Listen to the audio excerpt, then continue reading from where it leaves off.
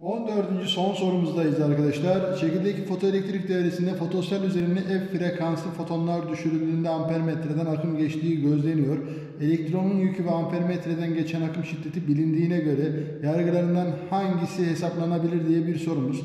Şimdi ampermetreden geçen akım ve elektronun yükü biliniyormuş arkadaşlar. Ampermetreden geçen akım I eşittir Q bölü T. Akım ve yük biliniyor. Arkadaşlar bu ee, I0 akımından bahsediyor.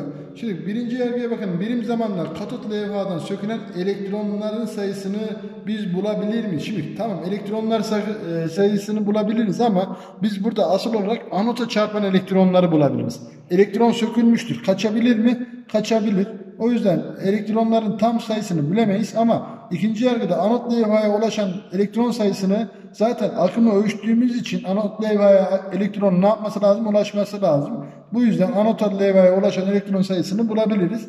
Birim zamanda katot levhaya ulaşan foton sayısı arkadaşlar tüm fotonları bulamayız. Bizim e, foton e, sayısı akımı arttırır ama anot ulaşmadıktan sonra biz bunu hesaplayamayız. Cevabımız Bursa.